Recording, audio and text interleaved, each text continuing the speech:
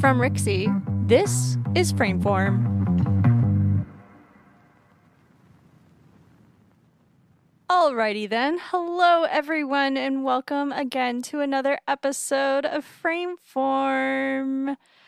It is another day. true that. True that. How are you both doing?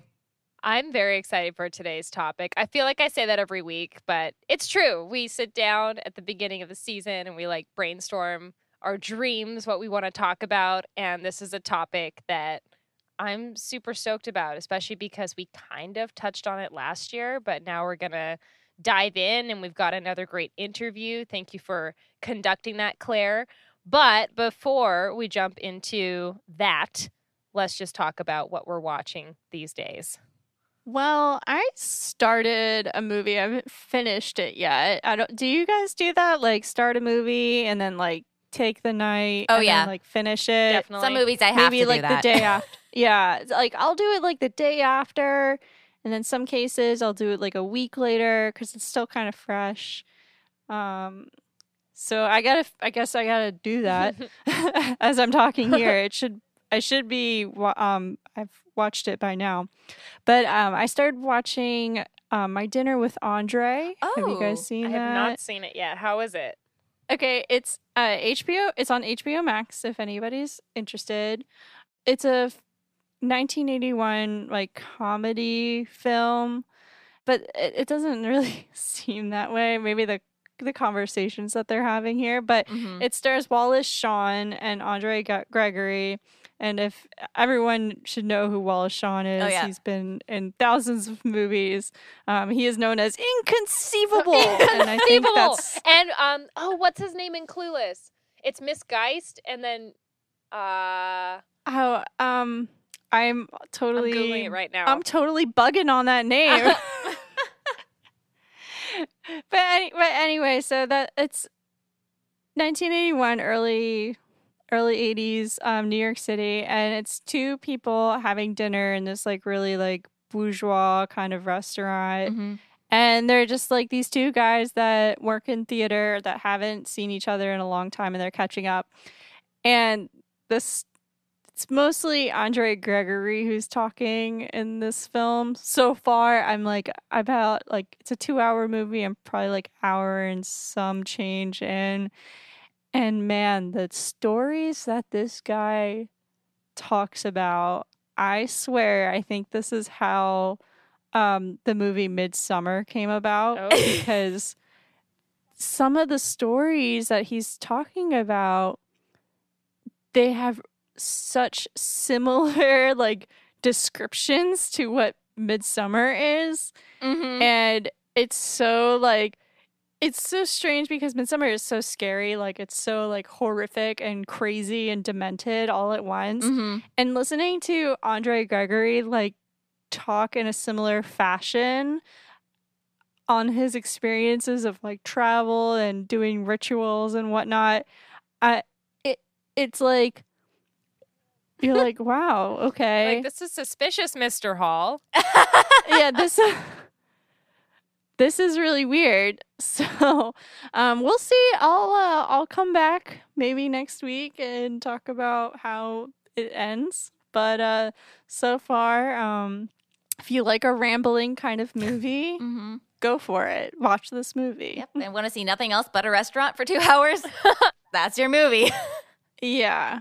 Well, I'm one of those people um, that every time a month is nearing an end, um, I'm trying to binge all the movies that expire, either like from Netflix or like Hulu or um, especially Criterion, um, because um, those are the movies that you really can't find anywhere else. So yeah. I'm kind of in my in my binge mode of a lot of Jean Luc Godard stuff. Oh my Um, gosh. yeah. Yeah. I used to be obsessed. Like it was embarrassing. Like embarrassingly obsessed. yeah, so I'm just uh just finished Pierrot Le Fou. Um and So that one's my favorite. oh yeah. My f- favorite thing about that movie is just all the color Mm-hmm. coordination. hmm and um you know just that like little silly scene in the middle so Yeah. Oh yeah. it's very over the top and that's that one is that one's my favorite for that reason. And I think those movies are so important to watch, understanding some of the context too, because an audience member now could look at it and see that it's like cheeky and cute and get that there's a bit of a quirk to it. But to understand that they were really changing the way that cinema was done and that this really was so experimental at the time, I think is super important. But yeah, I definitely went through a major French New Wave phase. And I actually remember writing to my school and asking, like, why is there no class specifically on this? And then the Oh, next wow. semester, they actually did offer the class. And it was so Mm. cool. We did new waves from all over the world. So we looked at like Korean New Wave and French New Wave, like, Oh. did a whole tour. And yeah. unfortunately, this professor died in the course of the year and he was like literally Oh. one of my favorite professors rest in peace mark harris and yeah i mean but the the time that he was teaching the class was amazing he just had such encyclopedic knowledge and could make these like crazy connections and especially for someone like coming out of high school um you know a very traditional high school to like have someone that's just so weird and knowledgeable and casually just being a brilliant person talking about all this art stuff was just really awesome. Oh, that's awesome. Yeah. But something I rewatched recently was Riding in Cars of Boys. Have you all seen that movie? I haven't. It's That's what Drew Barrymore. It is. mhm. And my family watched it a lot when I was growing up, like almost to the point of exhaustion. That was like one of our go tos. And I kind of had a hazy memory of it. And I remember there being a lot of like phases of life stuff. So I thought, you know what? I'm I'm gonna rewatch it at this phase of my life. And it's actually I really recommend it. It's so good. I think the one thing I choked there. It's so good. Like the one thing that's weird is at the beginning of the movie or near the beginning, she and Steve Zahn are playing their characters and they're supposed to be like 15 and you have to keep reminding yourself like okay, they're 15, they're 15. So that suspension Yeah. of disbelief is challenging, but like yep. that and the holes in like the side plot with the son aside it's an excellent movie and it covers a lot of american history it covers a lot of phases of life and life choices and just has a lot of really good like wise one liners in there that as an adult person watching it i was like wow my parents are so cool that they played this as much as they did when i was growing up because they were really trying to like teach me by showing me. And I know it's just a movie, but it is based on a real story. And I do really recommend it. And I actually think it's relevant to what we're talking about today, too, because it does deal with issues of like adulthood and maturity, taking on responsibility, but also what does it mean to be a kid? And, you know, uh, in some ways, like who gets to be a kid. Exactly. But before we get into that heavy stuff, what are some movies? You know, today's topic is working with kids. What are some movies that, you know, either you watched when you were younger or you watch now that feature kid casts, whether, you know, a lead or an ensemble cast that you just like absolutely love? And let's just like round ramble off a few of those favorites that we've got. I I love coming to age movies. Like that's my my thing that I'm also trying to let go of as I'm entering my 30s. oh, you don't Like, have to. No. I know, but still it's just like it's it's kind of starting to get to a point where you identify so much with a character at a certain age that it starts to cringe a little bit and not in a good way. Like Mm. it, it's so that's where I'm starting to feel a little strange. But on this list that you created, Jen, Matilda, that was my favorite as yeah. a kid. I identified so much with that, as well as Harriet the Spy. Yes. Oh my gosh. I don't know why that's not typed on here. I had um the yellow like rain jacket and later in my life I was actually gifted um theater binoculars that I still have and um I I always think of Harriet the Spy with those binoculars and yeah that was a really that cast in general I want a garden like that in that like in that So we met in our 20s, Hannah, but we so would have been friends. I was obsessed with Harriet the Spy. I'm actually like Mhm. really So disappointed good. in myself. I did not include that in my list because this was like a top of my head type list. This was not like, oh, let me Google movies with uh, kids in them. I was just like, what are some of my dearest movie memories? Here we go. What about you, Claire? Oh my gosh. Um, this might be cut from the episode. but um, honestly, okay. Honestly, and this is mostly because of, uh, again, a criterion binge watch as well as a conversation I've had recently with a few friends. One, um, and this actually goes in relation with a, um, a video essay that I saw Battle Royale. Ah. I mean, I watched that I mean, when I was a teenager. So it was a, a very strange world, but also it, it almost seemed like the the trials and tribulations of you know adolescence taken up to a 10 plus. Yeah. But you know what? We need those movies too. Because one I left off this list was 13. And that's another Oh, yeah. coming of age movie that's like definitely more rough. I haven't, I still haven't seen Kids. Uh, I still, Oh, I yes. still haven't seen Kids was my high school jam. I still haven't seen Forever Harmony Cuties. Korine. you know so like there are those movies that deal with childhood and matters that involve children that in some cases are helping us process some really challenging life stuff and that don't Yeah. sugarcoat you know and don't put a, a, a lens on childhood as if like oh it's always perfect for everybody you know Right, right. and they don't always do that in the fashion of being the goonies Oh, totally, totally. Oh my gosh, I, I love the Goonies. I've actually never seen The Goonies. Oh. um, it's just one of those that didn't didn't get to I'm me. going to be honest with you. There's some movies that I, you know, for me, this, you know, Back to the Future is in this category. You need to see it at a young enough age to get really invested. Like I saw Back to the Future as an adult and was like, "Oh, this is great to teach people." Like, and uh, you know, Michael J. Fox is from 45 minutes from my house, so like Canadian pride here. oh, nice. But you know, I was like, this is a great movie to teach kids or, you know, new audiences cause and effect and to expose them to phases of history and stereotypes. But I can't get invested in Christopher Lloyd's like overacting, like, oh, the time machine. Like, I, it's just so much. and he'll always be Uncle Fester to me.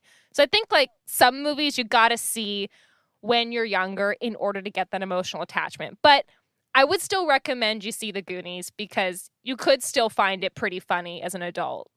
I think that's like also one of those movies that like if you had siblings, you would watch it. I Oh, don't know. mhm. I Uh-huh. forgot you and my I- husband are both only children. Only, only. I'll be yeah, your so I- sibling. I, grew up.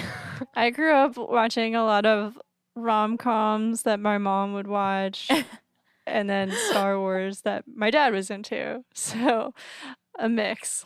As we move forward talking about kids today, Claire reached out to filmmaker of the film New London Calling, which takes place in New London, Connecticut, created by Alla Kovgan. In this interview, Claire will be discussing the making of this film, working with children, and it's definitely going to touch on a lot of topics that we're going to discuss later in this roundtable. So here's that interview.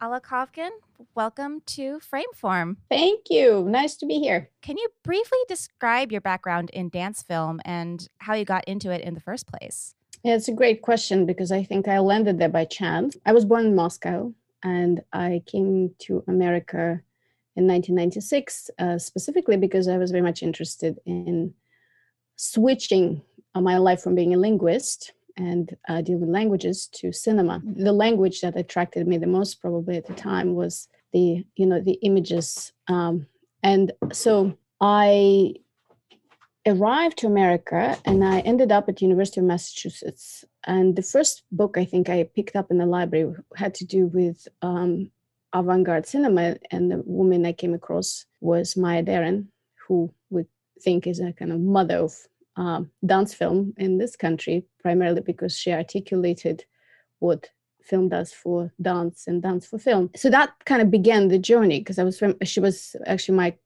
slight compatriot. She was from Ukraine. And so she was studying with Katherine Dunham, uh, the American African American choreographer. So anyway, that that story really struck me. So I got interested in what she had to do with dance and film. But also I started realizing that I had a real hard time writing scripts in English. I was very fluent in English, but I felt almost like handicapped, you know, that I couldn't I couldn't express myself through creative writing.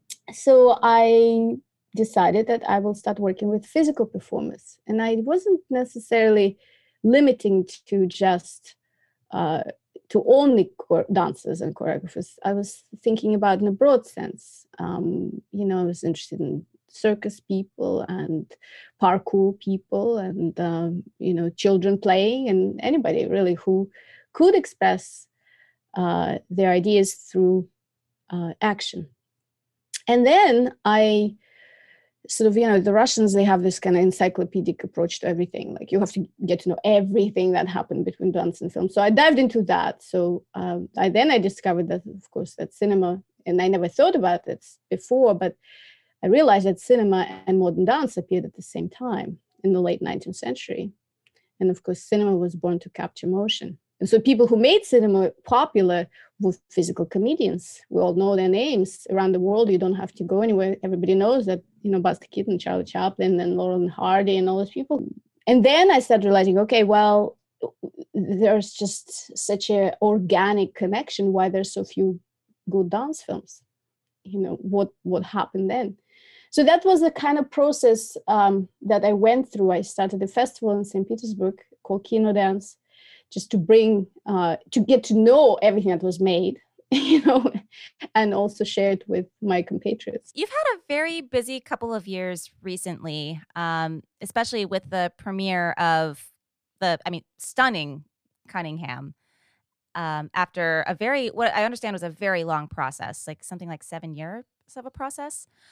Can you describe your feelings on having a film come to fruition after such a long process and have it see you know, see it have a life both in a cinematic setting and online during the lockdowns. Yeah, I mean it's it's it's a big project. It's bigger than I've ever done. I guess I like to make new things every time. I can never repeat myself. That's I guess something I'm uh, sort of trying to do. So uh, this is a 3D film. It was conceived as a cinematic experience about legendary American choreographer Merce Cunningham. So of course it wanted, I wanted it um, in on big screen. You know, it was made for cinema.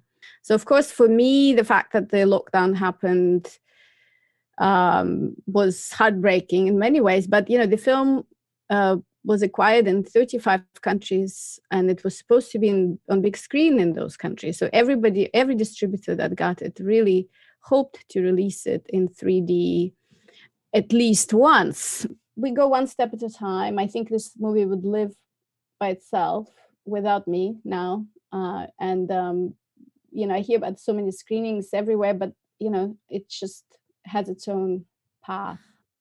Honestly, even though they the two films like are seemingly different, there are so many ideas of Merce that do find its way into New London Calling, or so much of the ethos of Merce that do find its way into New London Calling. So, actually, let's go back in time a little bit there. So, the film itself was completed in 2010, but it's still, even as of a few years ago, and I understand the film itself came as a product of a residency at Connecticut College in New London, Connecticut. Did you know that you wanted to create this kind of film or create the film with children going in? Or like what kind of sparked that idea? The thing about it is it was like with everything, you know, you I mean, there are different kind of films. There are films that you plan that you have to, you know, fundraise for years, that you have to convince the world you have to make it, and then sometimes there are just those kind of amazing, amazing uh, incidents that happen. Um, I think there's a fantastic gentleman, um, a, visionary man, I would say, in Connecticut College. His name is Robert Richter and he is programming um, all their dance programming and theater programming um, so uh, Robert invited com- um, the company called Kino Dance Company that I have with uh, uh, that I had with two choreographers, Alissa Cardone and Ingrid Schatz, and the set designer Douglas Wainwright. The idea was to create interdisciplinary collaborations or expanded cinema installations or you know sort of performances uh, with cinema in it, uh, live performances. So there was like this. Uh, our goal was to really integrate and cross pollinate different media you know because we all came from different artistic disciplines. We didn't have a director.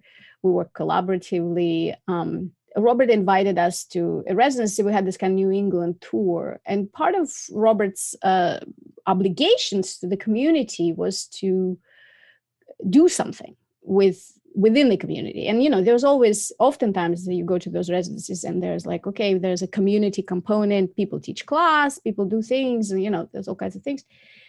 And he said, you know, he has this dual language arts academy, and the teachers are very great and you know maybe we can do something with children and i always want to do something with children because i think um, actually goes back to maya deren and also this other person helen levitt she was a photographer in new york and she mostly she photographed harlem a lot and her photographs of kids are just unbelievable you know she was very interested in children's games i had that in the back of my mind and then i decided rob maybe we can try make a movie with them so uh, that's how it sort of began. We met with um, with the with the school, and the first thing we did was we did a talent show, you know, with oh. kids.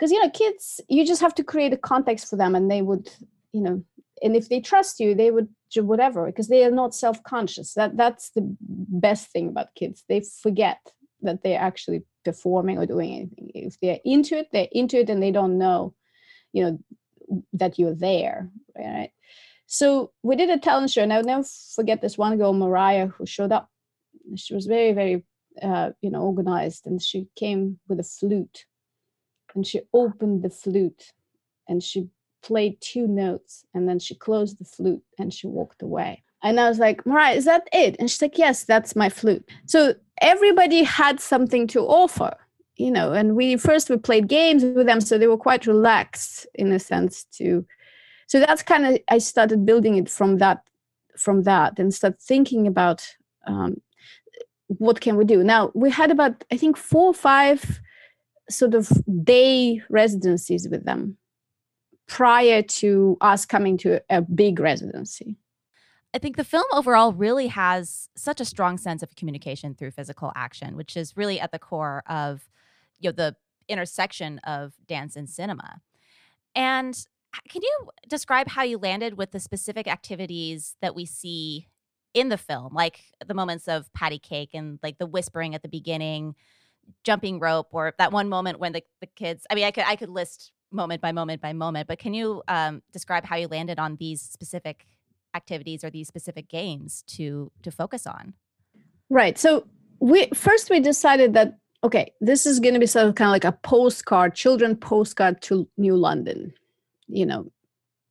And what I did, I went to the New London Historical Society, uh, being, you know, a researcher at heart. And I looked at a lot of postcards and photographs and all kinds of things that happened in New London. New London is a very interesting town. You know, it has a, a big history actually. And uh, I, I, brought all these postcards. I, I, took pictures of them and I brought it to the kids and I we started looking at them and I I, st- I started telling them stories. This what happened here and this what happened here. And they were very surprised, you know, like there was this kind of moment of like, oh, we live on this history, right? This is kind of uh, interesting, right? So that actually that that's one thing we did there so there's locations you know where we're going to do what so i sort of wanted to get them interested in their own town you know?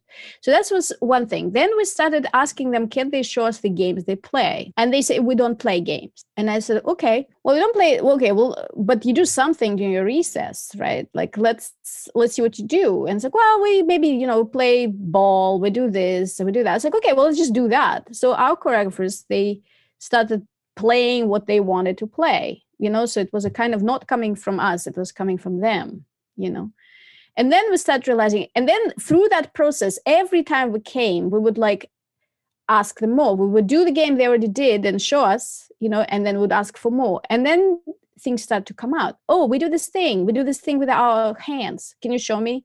And the two girls would get up and they would just do it very fast and and with the speed of light.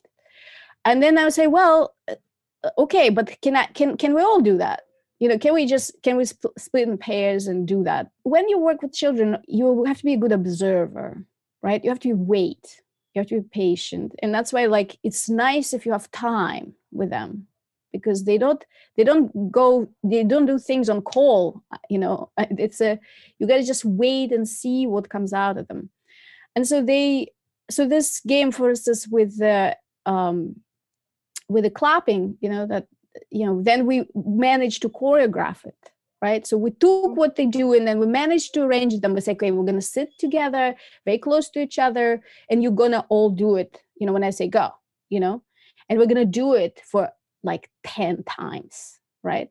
And as they do that they start forgetting. I mean that's the thing right? They start forgetting and because they know eventually they're going to be on camera they are doing it. They're doing it for real. And then they have fun you know they start enjoying things right? They don't stop you know which is what adults do. The other thing what we did i started asking like do you know duck duck goose? Oh no that's for the five year olds we don't we don't do that. Yeah but i mean imagine if we have uh, a huge group doing that. So you have to like sprint you know like so it's a real game. Like it's not for five year olds five year olds would never do that. This is too difficult you know so I would sometimes take the games that they think for five year olds and would try to push it, you know, like to to basically make it interesting for them. So that came from us. But also, I would never forget this one incident. I because I did so much research on children ga- children's games, I found these pictures of Japanese kids doing duck duck goose in the interim concentration camp in the United States in 1945. Mm-hmm. And I brought that picture to them. And I said, Do you know what that is? And they said, Oh, it's Duck Duck Goose. I said, Okay, it's a black and white picture from 1945. And that all of a sudden, like I remember that moment very clearly shifted their understanding of those games. They started realizing that they carry knowledge that people, their their ancestors might have carried, and also not only here, but in so many different parts of the world. So when you say you don't know, you don't play any games, that's actually not true. You know, you know so many things. So what we're going to do is we're going to share that. And I think that's when I I think we had a complete trust from that moment on. At what point was the camera brought into the process? And did you have to do anything to acclimate the students to the presence of the camera? Yeah, we talked a lot about it, uh, but of course they didn't see this huge camera. The camera was huge. Actually, it's the first time people were shooting 2K at the time, 2010. Oh. You know, I think it's the first camera to shot 2K, and so it was big camera, and there was professional crew, right? So I said we're gonna shoot every day. We're gonna show up at eight o'clock, and we're gonna end at three or four, and then you know you're to have lunch we're going to do this and that it's going to be uh, we ha- we're dependent on the sun right? Mm-hmm. the weather is key so we're going to learn about the sun. And it's funny because by the end they knew what the sun is for. It was very interesting that that was the big revelation. They did see some little cameras around because we filmed a little bit. We also filmed with ourselves with alissa and ingrid because we had to we didn't have time with enough time with them to look for shots. Alissa and ingrid we could just them doing it and we would know which shots to get. So we actually storyboarded it okay. with ourselves doing the games you know? So we knew the shots we want um, while basically practicing their games ourselves in the locations that we had to be when they they got there we knew exactly the plan was very very clear it was very very organized. One thing what i learned working with dancers is that you know dancers unlike actors they don't like to wait because once they're mm-hmm. warm they need to go right? They can't because if they're going to wait then you have to they have to warm up again. So the same with kids kids have short attention span they don't like to sit around. I mean it build they build stamina i must say. They build over over that week we were working they got stronger more patient. Also they they kind of they liked it you know they liked the fact that there are all these people running around with reflectors and cameras and actually we had only one camera but there were all mm. these photo cameras and you know there was uh, sort of a process and the concentration i think you know that we have to co- get concentrated together. We're doing this together. If one of us is not doing it we can't do it right? Yeah so so they were not intimidated by that time because we already had relationships with them. And again i do think relationships is key if you want people to collaborate with you you mm-hmm. know because otherwise you show up you film they do what they can but then there's no you can achieve what you need if you if they're just sort of showing up you know without prep. I'm a big believer in prep and building relationships. So i think um the shoot went very smoothly you know um, we would always often start with a group and then we kind of let people go as individual kids. We need individual kids. I mean we try to give kind of solos to every talent we could everybody who wanted to do it. You know but there was not uh, all the the direction was you come here we arrange you where you are and then you do what you need to do you know but you repeat it so that we can actually get into groove. It's not like one time let's make it five times you know like just keep going. One of the key themes of the film is the disappearance of children's culture and i feel that that comes through in so many different ways throughout the film where I mean, not only do you have like the bright shirts juxtaposed against sort of this industrial setting, but there's some moments where the kids are like playing in alleys or playing um, maybe there's one dedicated playground but there really isn't any space dedicated to them. Um, at what point did this theme start to emerge? And um, did the students themselves offer experiences to corroborate this theme? Yeah i mean i felt that this, this is something i noticed about new london from the first sight how empty it is like you walk around i mean this town used to be bustling and now it's like it's nothing. Like it's completely like you walk around maybe you see one person you know in the street. So it was a kind of movie set you know it felt like a movie set that just sort of people left you know it's like new york and during the pandemic in april 2020 like you could ride your bike on fifth avenue in the middle or you know wherever it was you know so it just it was eerie you know and it's in surreal at the same time.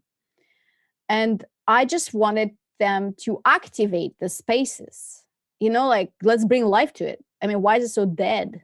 You know like they used to be people here and the kids play and you know they used to do all these things. I see the the photographs i see the postcards i see the, all the stuff.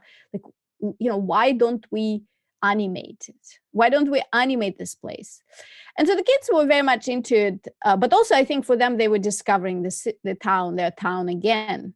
You know i mean they, it's a very diverse socioeconomic um, background they have. You know they come from different um, backgrounds some you know very wealthy some you know not wealthy at all you know? And so so like all of them were discovering the town in a new way you know something they never noticed before you know?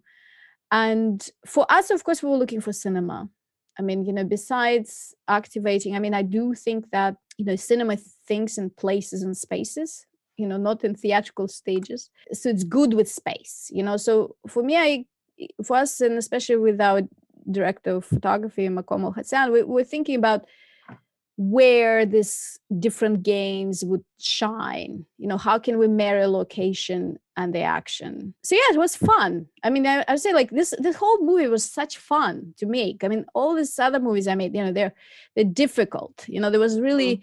sort of a lot of effort uh, and the years of work and so much pressure all the time. Now this film was real fun. There were moments you know i mean uh, you know they got tired it was very hot often you know there was all these things but it's like with anything you just have to find a way to you know to sort of cheer cheer all the time to be a bit of a cheerleader to to just sort of get the energy going and once they're in it they you know they don't complain there's i had a bit of a connection um or sort of like a deja vu moment back to when i first watched cunningham when i rewatched New London Calling uh, for this episode. And specifically, like there's the sense of melancholy when watching Cunningham, knowing that these dancers, this is likely the last generation of dancers who worked with Merce himself. And there's a similar feeling watching New London Calling with this generation of children. And you mentioned earlier how um, sort of unperformative they were in front of the camera. Now we're dealing with a generation that's so ingrained in social media and so ingrained in devices that performance is a part of your life really from an early age. If you were to approach a project similar to New London Calling today, how do you think it would be different? That's a great question. I mean, I just think kids are kids. Um, and we, and as children, and actually as humans, talking about Cunningham, you know, like, uh, you know, while we're moving, we're alive. Once we don't move, we're dead, basically. So, I mean, children are no different. You know, I mean, they're, we are wired to move. We move much less as i mean of course when the dance world people move but like overall because of this sedentary kind of way of life in the western society i think it's really important to differentiate here it's all very regimented. You know there's no freedom in a sense. You know we live in new york. My kid mm-hmm. is 10 years old.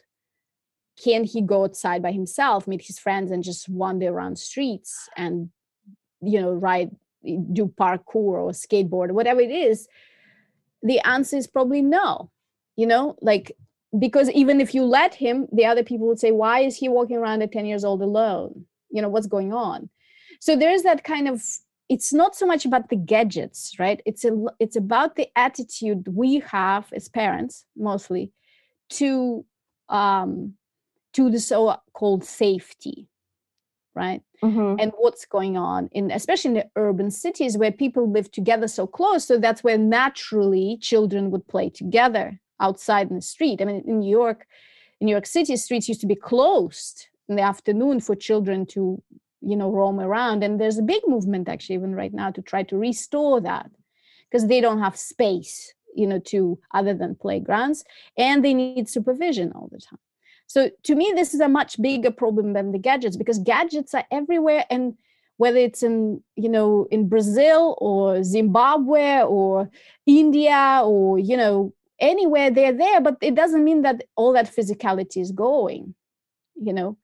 Yes they spend more time on those things but it but they also get more exposure so i'm not i am not so concerned i would still push for the games they know Sh- let them show what they know. Let them show off. Everyone wants to show off. And also, going to see people who don't want to do that. And then the question is like, what do you do with them? Because idea of participation and finding something unique for every kid, that was pretty much my goal in a sense. It's something that would sort of highlight them. So it is a somewhat democracy. It's not a meritocracy, like, oh, I can play violin like virtuoso, I can play you know everybody even if you can just you know i don't know play two notes on flute and close it down i love that you know that's great you know let's all be together let's find a way to express you know because every single person and especially child i mean they have so much creativity. Absolutely that's a beautiful thought to end on. Alla thank you so much for joining us today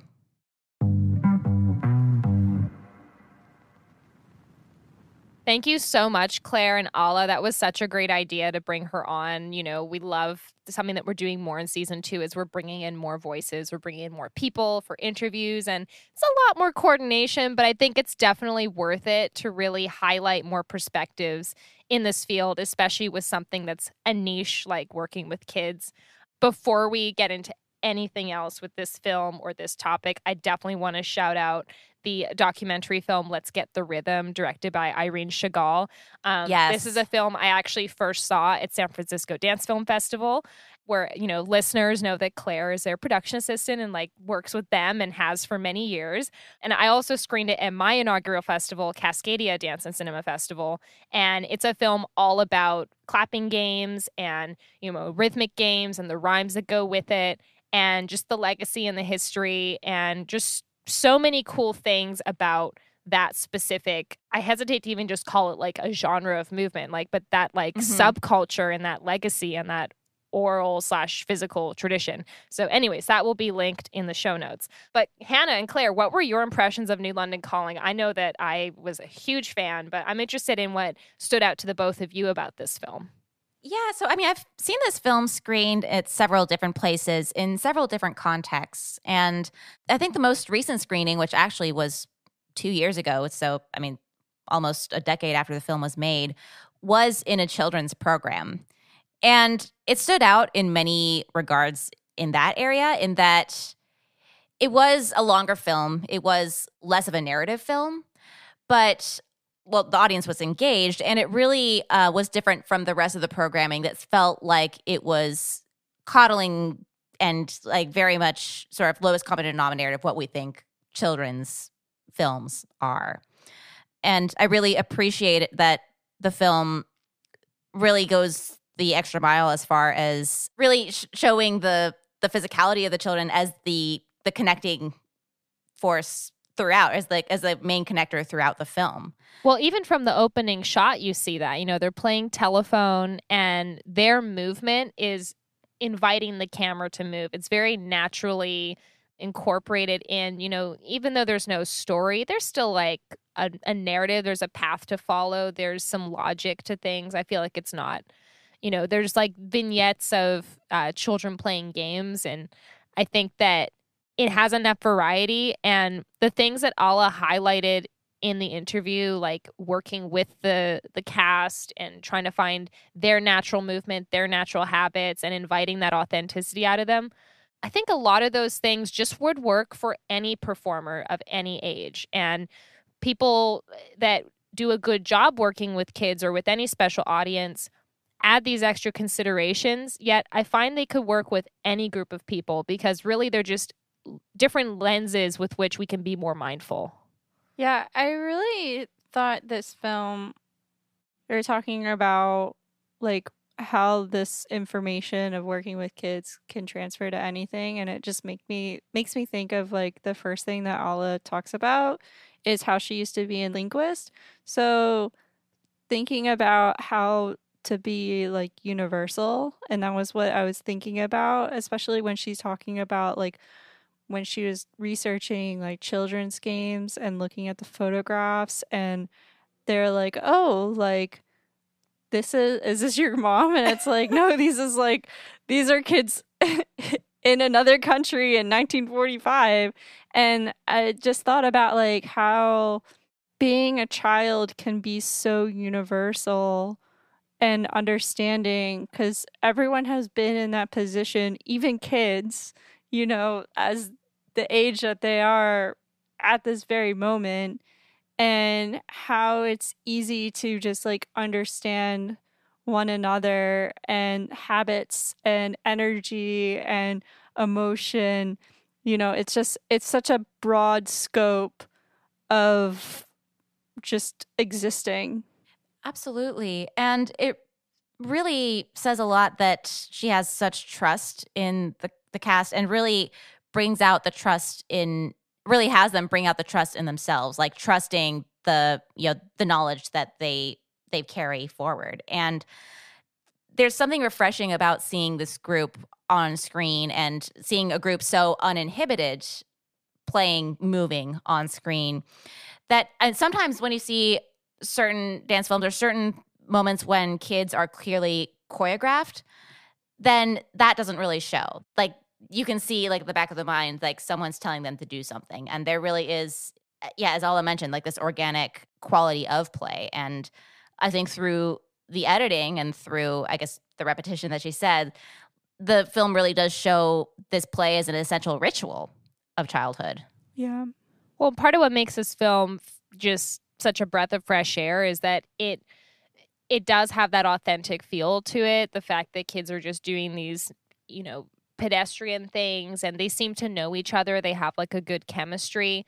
You don't get that as soon as you have sometimes as soon as you have trained dancers because you know someone that is you know particularly if you're looking at projects that involve children and kids sometimes these are you know just average kids that are not trained performers sometimes they have some training and sometimes these are legit working professionals and mm-hmm. There's just a, it depends on the goals of the project. And you know you look at someone like macaulay culkin who was a performer from a very young age like trained in dance did all of the you know the balanchine's nutcracker did home alone. Like this is someone that acted like a quote unquote real kid but very clearly did not have a quote unquote real childhood. And I think a great thing about these short form films that we're seeing in festivals made with quote unquote real kids is that we do get to capture some of that natural essence that is not incredibly performative. But at the mm-hmm. same time, Claire, you brought up this point that where technology is now, kids sort of live in a somewhat performative mindset. And I do think that we're kind of past a point of no return where eh, it's a form of innocence to be uninhibited and not be embarrassed and like be able to be silly without thinking my friend's going to get a video of this on their phone and post it you know so my heart kind of breaks for that. With that all said about just like the consciousness of being innocent versus like consciously being aware of your surroundings and all of that like i think in the end like in this film in particular it's just kids being kids and doing everything, you know, the energy of it. Like I just I wrote like a whole bunch I wrote a bunch of adjectives just like innocent, vibrant, young, uh energetic, unstoppable. What I think is so also very like natural about New London Calling in particular is yet there is some choreography, but yet I feel like the choreography is more shown in the edit. So, with all that said, it's just like, you know, capturing what is being captured in that time and then turning it into something. And this film totally succeeds at that just because of like, if you're a bystander just sitting at a playground or even by a bunch of kids playing, you can see that rhythm and pattern of how children play and that definitely shows through in the edit that Alla has created in this world.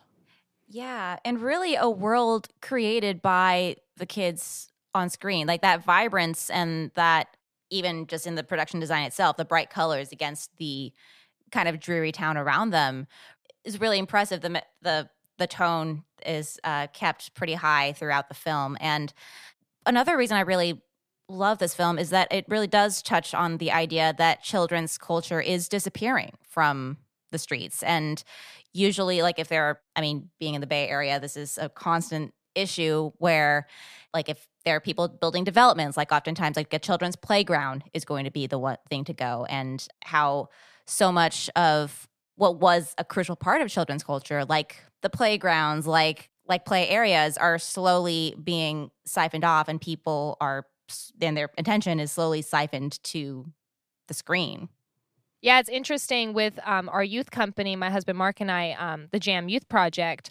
We make dance films as part of what we do with this training company, and it's a tap dance company. And over the years, you know, we've screened at different festivals, and it's been really interesting to hear audience um, reception of these films because people are so happy to see kids happy on screen what we really wanted to do were show different stories and settings that let kids be kids and that highlighted childhood. And the really messed up thing is, you know, so the, the three films uh, that are linked in the show notes are in chronological order are Farther Up the Road, If I Ruled the World, and Recess. And when we did If I Ruled the World, this was shot at different locations in the DC, Maryland, Virginia area. And when we were brainstorming, we just wanted to show different scenes from childhood, like making s'mores, like running around with the dog, you know, uh, running outside with your sleeves dangling, Gabriella, in the last shot. So, you know, watch it at the last shot. This girl's like sleeves are like four inches too long and they're flopping around in slow motion. It was, as an Can't editor, relate. I was like, no. But then I thought, oh, wait, it's kind of perfect.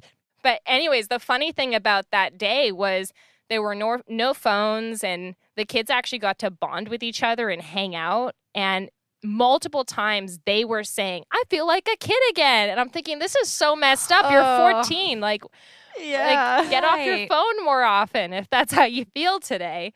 Audiences really liked it. And a question that we got more than once was, "Oh, how what's it like? Do you feel really limited trying to tell stories with children?" And one of the things I thought was, if it's so hard to tell a story with children and to choreograph for children, then what are you doing with adults? Because I find that sometimes in dance, people just go for like the sex appeal or the romance, and that's really like an easy out. And as soon as you're removing that and you're saying, okay, let's just look at people here and and take out that easy plot point, you know, then you got to get a little more creative. And then you actually stand out without that much effort sometimes. Absolutely. And something I really love about If I Ruled the World, I mean, I, I love so much about it. Well done, Jen and uh, Mark and Jam Youth uh, project. But yeah, the genuine camaraderie that we see on the screen, not just in these little vignettes, but also in the performance itself. And I mean, it's I mean the the movement is performed extremely well, but there really is a sense of like I, I don't want to say elbowing each other, but there really is a sense of dancing with with the group. That it, this isn't just like a sense of like a bunch of sporadic soloists. That everyone is moving together, and this really is a um, a communal activity. Yeah, and with that, it definitely gives this thing of like freedom. And I feel like being a kid is kind of like having freedom. I know, I it, even though all of us have freedom, but you know, like as you get older, you get more tied into different things and you are focusing on specific projects or ideas or practices. But you know, one thing I was working on a project a while back, and he was the interviewer or interviewee was talking about just kids in general and how, you know, when they're so young, they have they're like a spotlight that's so big and it's so wide, and you definitely feel that in this narrative in particular, especially just like the just as they're performing, as they're running through the leaves and throwing a football and whatnot. Like that's what being a kid is all about. You have the whole world in front of you. And it's that's really funny that someone in the audience was asking like how is it hard to create stories? And I'm like they're the most imaginative of you know, of filmmaking. You can do whatever. I mean, look at Stranger Things. That was part of our list that we were writing um, of recent things. Like, talk about creating a world with so much uh, feeling and imagination, and you know, it, it, there, there's so much there. And I think part of it might be, you know, actual truth, like actual fact that children do bring this out in adults. But I think some of it is just adults being receptive to the opportunity, the invitation. But it can really be so much fun to work with kids. Like if you are someone that doesn't like children, please don't work with them. But you know, I find that when you when you get into a creative space with them, it's really interesting and even working with younger kids versus teenagers can be different. I- including them in dance film, in screen dance. This is why I do workshops with kids of all ages. You know, it invites them to this whole world of opportunities because I think far too often those children that are interested in dance can really get kind of bottlenecked and kind of put on a few tracks like i'm going to be a competitive dancer and then i'm going to go to university and i'm going to be on the dance team and then i'm not going to dance again or I'm going to go to a conservatory, I'm going to have a professional career, or I'm going to go to school for commercial dance. You know, like there are these different avenues or, you know, highways that people Right. take into dance careers. And I think at a young age, as children are really forming their opinions and adhering to those dreams and, and, thinking about what they might want to do in that really open state, it's important for them to see, wow, I could be a costume designer. I could be the person behind the camera. I could be an editor, you know? And I think that creating films that include young people is an invitation for them to watch them and engage as well. Because, you know, when you are a kid, there's so much of the world that feels like it's rigged for adults. You feel like you are in a grown up world. And even like, cabinets and things are higher up and you have to struggle to reach them. And something that Hannah wrote in our notes for this film for these films was that framing the framing and the camera angle and the camera level can help you relate more or less to the actual experience of being a child. So I I love that you put that note in there, Hannah. Yeah, I mean, I think that's the the biggest and most noticeable way of like these examples of like being in that kid frame set because they're just like you know kids are always looked down upon i mean it, and this is the same way in movies that are just this center point of, around kids like you are put in their shoes you are standing at their height you know and i think that's what helps us as even older audiences you know relate to them more or go back to that what Olive was saying where it's like there's this universal input into like feeling like a kid you know everyone's been in that position no matter what age you are including the age you are as a child yeah I, and something that I really appreciate both from Alla's film and uh, as well as uh, the Jam Youth films as well is just really prioritizing kids in the present. And it really ties back to what you were saying, Jen, that there's this sort of like one track mind as far as, you know, a, a child or someone who's growing up training is only projecting a really the adult version of themselves or really working toward the adult version of themselves. And as a result, oftentimes in training, there can be this hierarchical relationship. And sometimes that can find its way into films as well. And that the child devalues their experience, devalues their their perspective in favor of someone who is you know the grown up the one who has you know who has that experience and obviously there's a lot of room for bad faith ways that play that plays out but really the importance of engaging younger students and younger dancers in this experience of creating and sharing their story is really sharing like that their their experience is is valued and really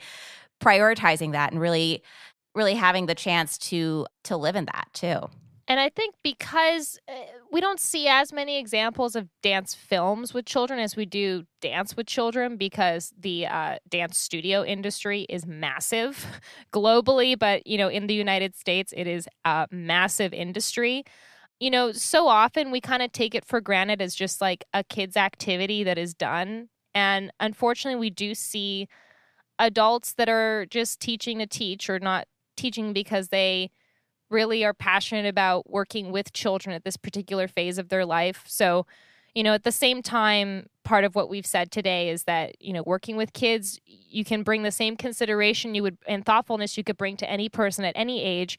There are some things that are different. And, you know, as part of the show, we always want to talk about some quick tips and behind the scenes and best practices. So, just some quick points that I've got on if you are working with kids to keep in mind are, you know, having contracts and liability waivers.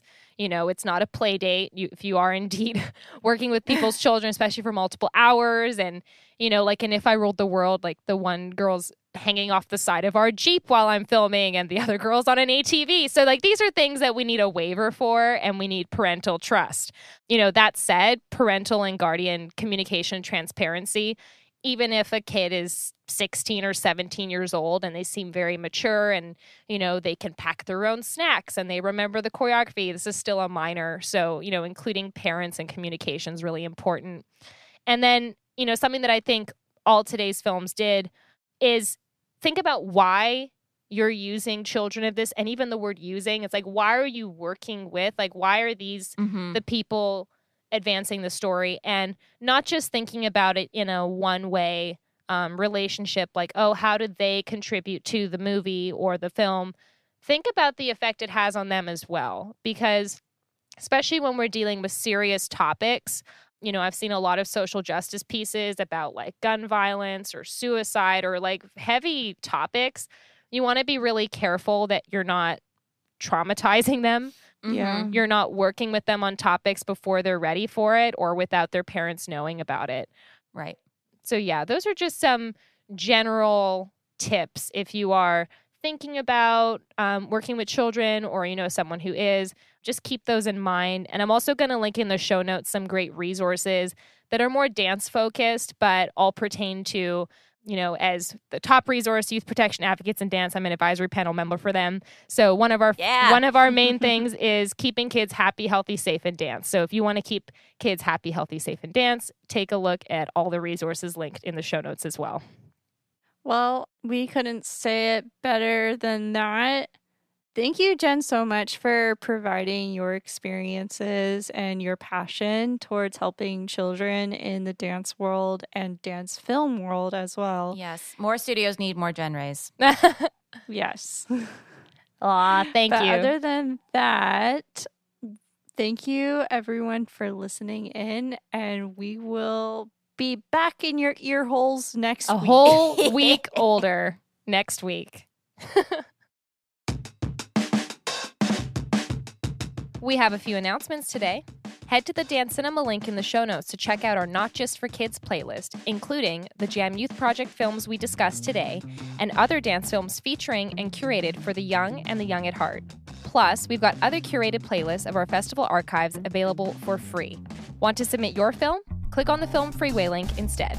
And we have Screen Dance International happening in Detroit, Michigan from September 9th through 12th at the Detroit Institute of Arts in collaboration with Detroit Dance City Festival and Arts Lab J. This will be happening in person. Hope you can make it.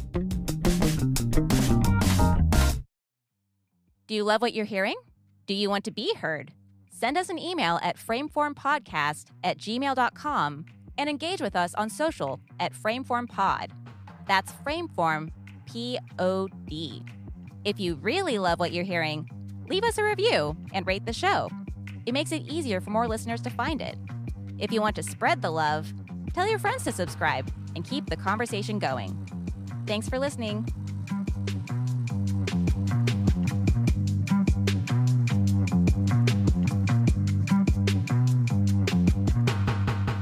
Frameform is a production of Rixey, hosted by Hannah Weber, Jen Ray, and Claire Schweitzer. Edited by the Frameform team. Mix and theme song by myself, Mason Carlton. Thanks for listening.